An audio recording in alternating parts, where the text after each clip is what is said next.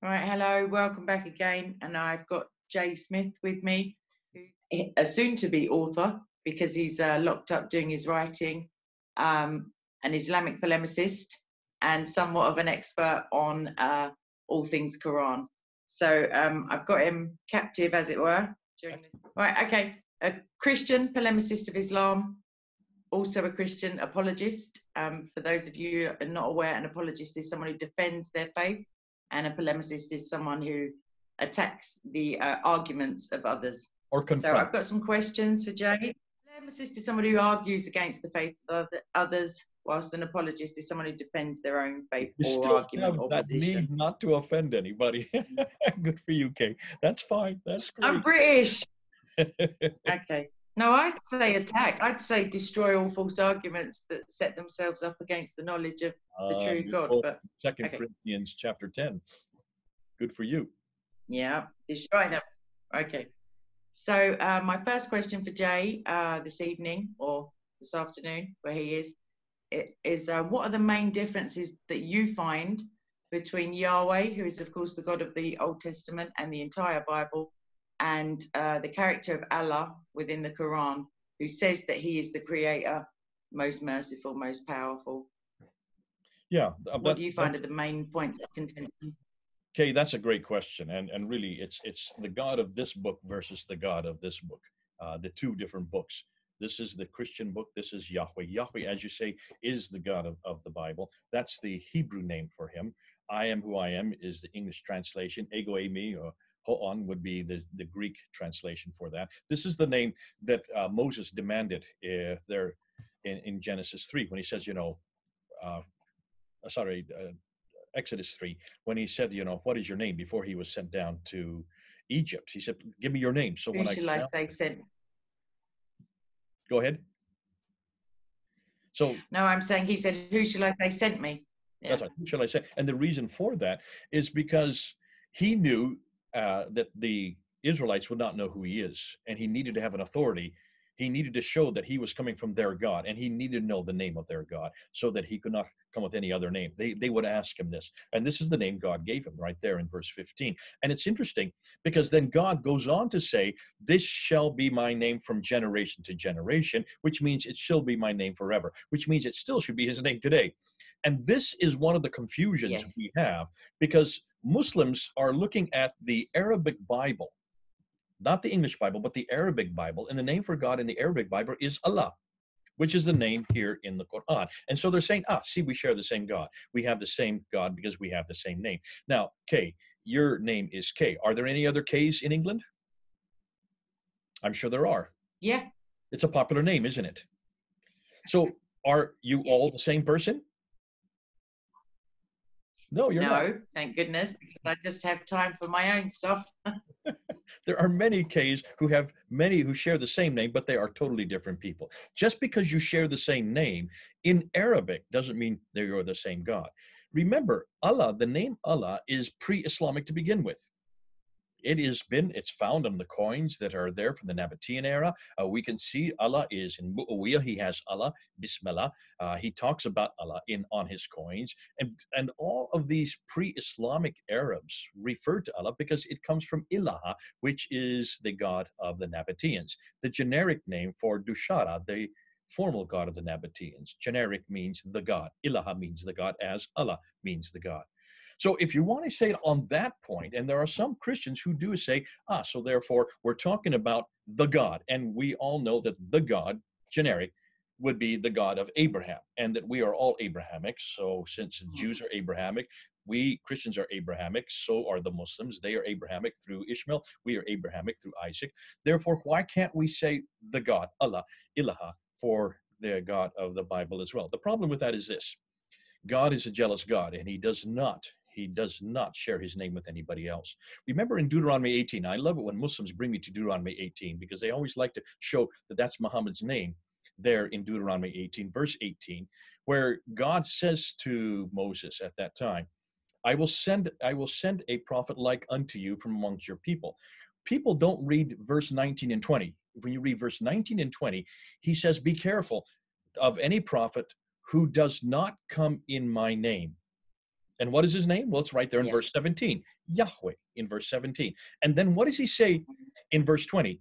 If a prophet comes not saying what I say, or if a prophet comes in another name, put him to death. Ooh, I love that.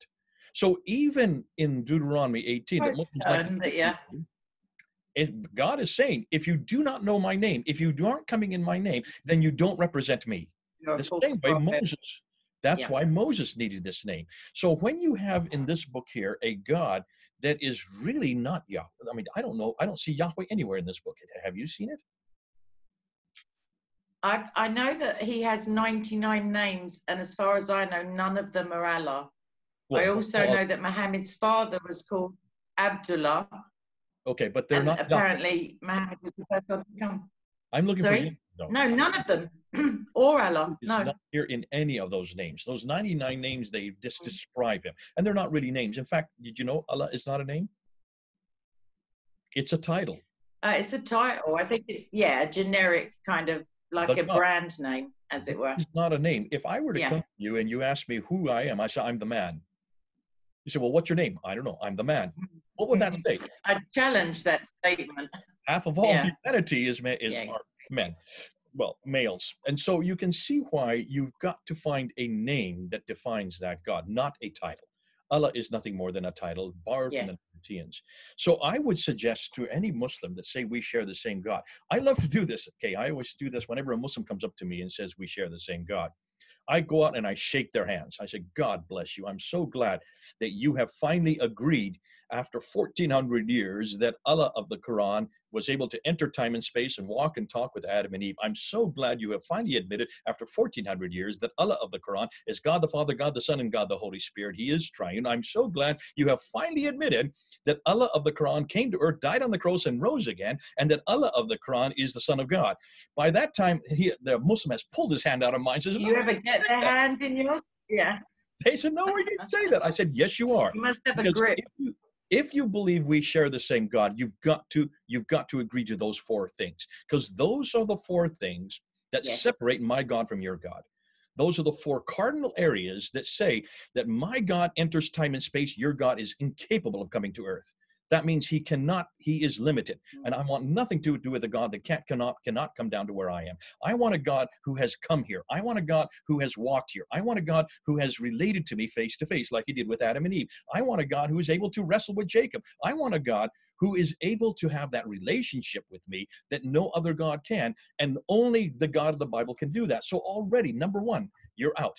Allah is not my God. Number two, I want a God who's God the Father, God the Son, and God the Holy Spirit. Why? Because that is the triune God that I see all the way through the New, the Old and New Testament. And Yes. that is the God that I don't see anywhere in this book. God is one. They keep on saying that. God is one. God is one. God is one. He's a modality. That's what one means. If he's a modality, that means he has no personality. Because by definition, anybody that has that is able to love or to have compassion or to be gracious. Remember what, what I've just done there? Those three, who is Allah Al Rahman Al Rahim. He is the compassionate one. He is the merciful one. That is part of the Bismillah that's found in the very first verse of the Quran.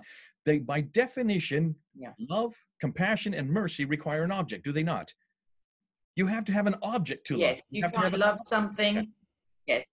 Exactly, Kay. Yes. Which then means that Allah, if it, where is his object of his love and compassion within the Godhead, if he's not triune?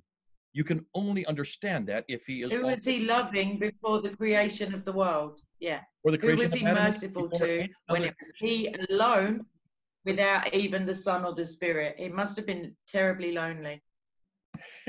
Can you then understand why I love the God of the Bible? Because from the very beginning, God the Father has loved God the Son. From the very beginning, He's loved the God the Holy Spirit. Which means if I am made in His image, as I see in Genesis 1:26, I am loving, I am compassionate, I am merciful because I get that from the Godhead. I'm because I'm made in His image as such, which means I'm a social animal, and therefore Muslims. I want to ask Muslims if you're watching this. Where do you get your relationship from? You can't get it from a monad God who is just one. You can only get it from a triune God. And that's why we do not share the same God. That's number two. Number three, to show that love and that mercy and compassion, God had to come down and do something for us that we couldn't do ourselves. He had to eradicate sin. He had to come down, take on human form, and he had to take on our guilt. He had to take on our penalty. And the only way that you can take on the penalty for sin is that there must be life given and there must be blood shed. That's it, Leviticus chapter 17. Life has to be given, blood has to be shed. That means your life has to be given, your blood has to be shed, which means if that's the case, since we're all sinners, we all have to die. But we still, that's still not good enough because it has to be he who was sinned against. That blood has to be shed. That life has to begin. Who who sinned against? Every sin is against God. That means it has to be God himself who had to take on that penalty. God himself who had to take on that guilt. And that's exactly what God did by coming by Jesus Christ 2,000 years ago, dying on the cross to take on all that penalty of sin on himself. Only he could do that because only he is the sinless one. It has to be someone who is the sinless one. Now remember, the Quran says that there's only one person who is sinless in chapter 19, verse 19, and his name is Isa. Ooh, I love it. At least the Quran gets that. child. At least the Quran gets that right. So that's why it had to happen with only God. Only God could have done this. And that means if they the Muslim believes that they that Allah is the same as the Bible in the Quran, then they're going to have to accept that Allah, but not the Allah of the Quran, the Allah of the Bible did come down, die on the cross, and rose again. And because he died and rose again, he destroyed death, which is what Jesus said he would do in John 10, didn't he? Behold, the Son of Man will die and rise again. He prophesied it even before it happened. He was going to die and rise again. And he said that he's going to do that means he himself was going to take on that penalty. So that's number three. Number four, Son of God. If you believe we share the same God, then you're going to have to accept the fact that God has a son and has always had a son. Jesus has always been the Son of God, will always be the Son of God, Eternally the become the Son of. God at one time. This is eternal. This is an eternal divine name. And in fact, anytime that Jesus claims to be the Son of God, he's saying, I am God. That's a divine title. Yes. No wonder when Jesus Yes, did that God in is one. In front of Caiaphas with all those Jews present, they were all leaders. When he was asked, Are you the Son of God? Not a Son of God like I am, the Son of God. Definite article. What did Jesus say? Yes, it is as you say. Look at the reaction of Caiaphas. He tore his robe, turned towards the Sanhedrin, and said, What further proof do we need? This man has blasphemed. That's why I love my Jesus, because those four areas set him apart from any other God. Only our God enters time and space and come can walk and talk with us. Only our God is triune. Only our God came and died and rose again for us. And only our God has a son who can do that, who can do it. He's the one that that's his job is to come to earth. Those are the theophanies all the way through the Old Testament. Every time you see God entering time and space and walking and talking, wrestling with Jacob, leading the children of Israel as a cloud during the day and a pillar of uh, fire during the night. That is Jesus. That is God on earth. He's done it all the way through history. We don't have a problem with him entering time and space because we got a big, big God. What a God we have. And I don't want anything to do with this God because he's incapable of doing all four of those areas. So please don't confuse the two. Anybody listening to it, Allah of the Quran is not Yahweh of the Bible. We have two completely different gods. Their God is absolutely hopeless and helpless. Our God is magnificent, is eternal, and yet he can also take on human form and come and die for me. That's a God I want. That's a God I want to follow. And that's a God I want you to follow as well. God bless you. Great question, Kay.